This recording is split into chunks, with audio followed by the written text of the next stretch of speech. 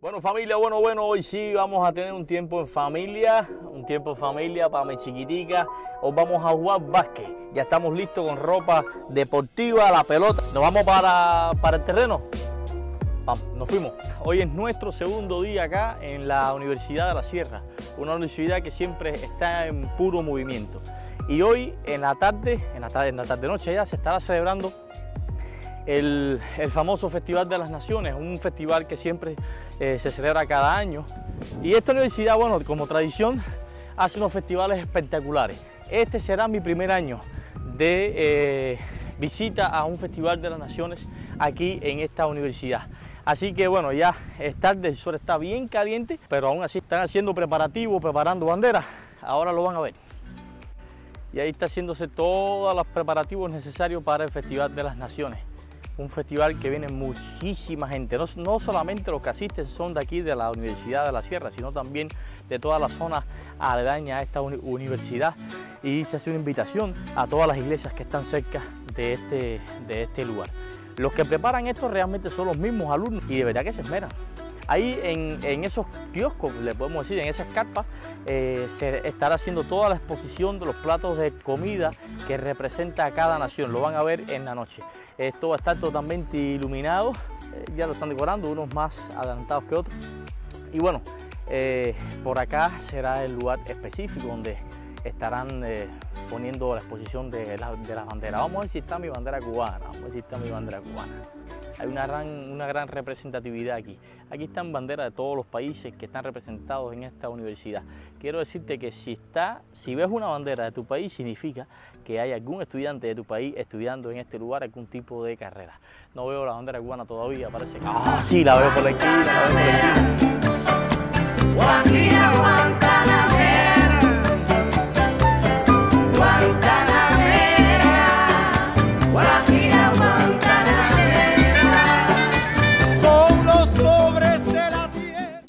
Hay banderas de todos tipos, banderas hasta de Corea, Corea, Japón, China, Chile, Venezuela, Nicaragua, Puerto Rico, Inglaterra. He visto banderas aquí, México, de muchos países, pero hay otras banderas que no, no conozco, que no conozco. Por ejemplo, esta, esta, bueno, si conoces alguna, déjamelo en los comentarios, porque realmente es que no sé, no sé, soy un poco ignorante en ese sentido.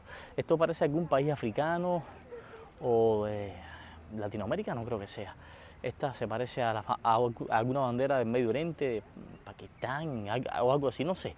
Hay muchas banderas que no conozco, caballero, cuánta diversidad.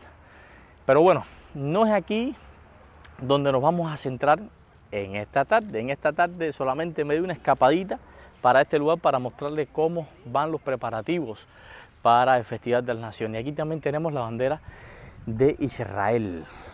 Hay alumnos israelíes acá. Eh, también estudiando. Bueno, les eh, estaba diciendo que esta vez no, no venimos acá. Esto fue todo un pretexto para poder dar una vuelta y mostrarles cómo van los preparativos. Los muchachones allí están haciendo fotos, haciendo ¡ay! haciendo sus preparativos para dar lo mejor de sí y hacer la mejor exposición de su país y que su país quede muy bien representado, que generalmente lo logran. Esta tarde, el motivo de nuestra salida es para eh, dedicarle un tiempo eh, de calidad a nuestra pequeña Elisa. Mientras Ada está estudiando para su rivalidad, bueno, pues entonces eh, yo vengo para acá y los domingos, todos los domingos, por la tarde, algunas veces por la mañana también, bueno, pues venimos a la Universidad de la Sierra porque hay un proyecto espectacular que tiene que ver con o involucra a nuestros muchachones, a nuestros hijos. Eh, y resulta que se lo explicaré un poco más allá porque aquí el sol me está derritiendo la mano, derritiendo la frente. Bueno, y le venía diciendo que voy rumbo al gimnasio de la universidad donde, donde se hacen, eh, o donde se está llevando a cabo uno de los proyectos magníficos, yo lo llamaría, para involucrar a nuestros hijos. Eh, y resulta que todas las iglesias de la zona las iglesias eh, que tienen que ver con, la, con, el adventismo, bueno, pues se reúnen y crean un proyecto deportivo que eh, actúa por trimestres y tiene que ver con, el, trimestre pasado fue con, eh, con soccer, hay también béisbol, softball y ahora estamos en la época del básquetbol. Y entonces nuestros hijos son agrupados allí en diferentes divisiones. Son cuatro divisiones que agrupa a niños desde primer grado hasta la secundaria.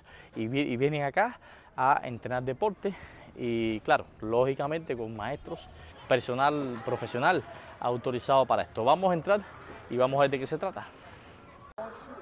Estamos entrando al taloncillo. Aquí están todos los muchachos, son agrupados también por divisiones y cada división tiene su propio uniforme.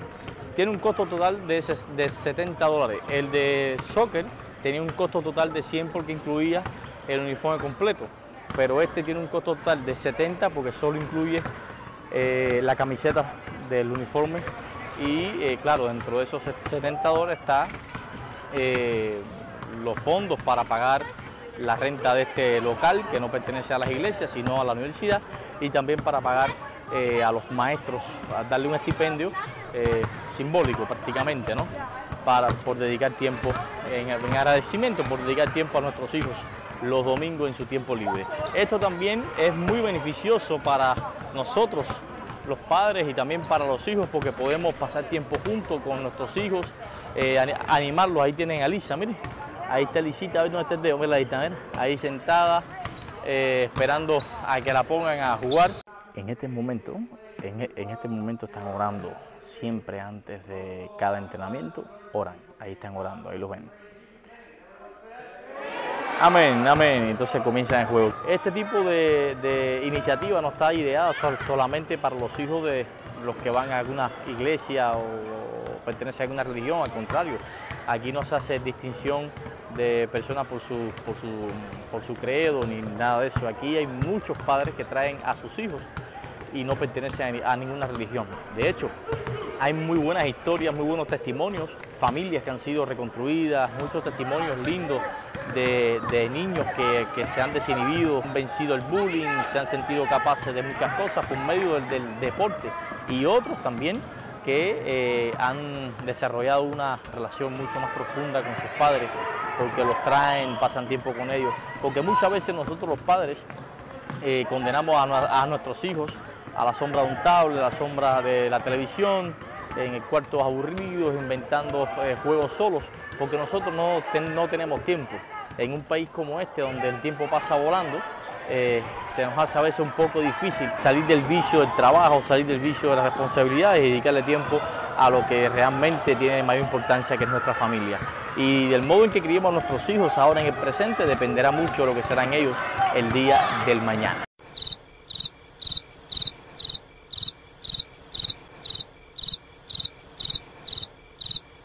Ella realmente se inclina más hacia las artes, no hacia el deporte.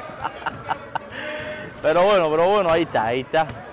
Esto es muy bueno para ella y para los demás muchachos, porque además de pasar un tiempo junto conmigo, sus padres, hoy vine yo, pero generalmente venimos Ada y yo, eh, también pasa un tiempo socializando con sus amigos, hace nuevas amistades, también desarrolla habilidades eh, motoras y demás. Esto es genial, una idea tremenda. Ese que ven ahí, vestido de árbitro, es el pastor de iglesia, el pastor de la iglesia central acá americana, cerquita de la, universidad, y es que está sirviendo de árbitro. Y también da consejos como, como entrenador.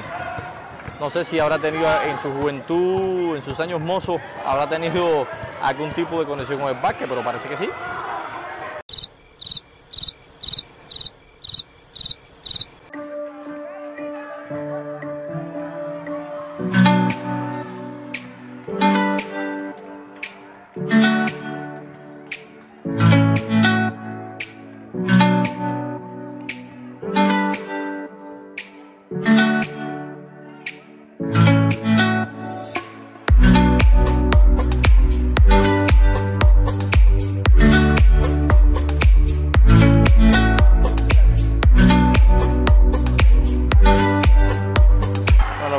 Ahora sí le tocó, ahora sí le tocó a Lisa. Ahí está jugando, luchando por la pelota ahí, haciendo bloqueo, bloqueo, la pelota, balón que sube, balón que baja, corriendo número 11, viene número 7 corriendo, pegándose hacia la otra cancha, casi la pega, viene el pase número 9, y se va acercando el tiro, el disparo.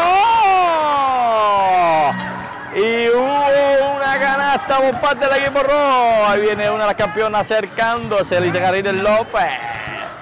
Bueno, bueno, bueno, y acaba de terminar el partido. Aquí tenemos, esto con reloj y todo, con reloj digital y todo. Y todo, esto es los futuros campeones de la, de la NBA. De la NBA, donde está mi campeona, mi campeona está por allá. Y bueno, ya después de esto lo que queda es una buena merienda, una buena merienda. ¡Pupi! Nos vamos entonces a agarrar. ¡Oh, los campeones! Los campeones, ahora sí.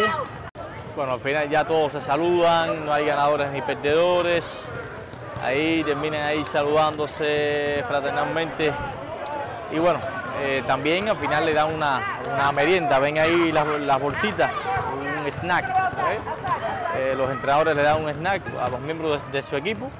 Y esto es realmente una bendición, ¿viste? Esto es una bendición porque es un tiempo en que los muchachos socializan, se divierten, juegan.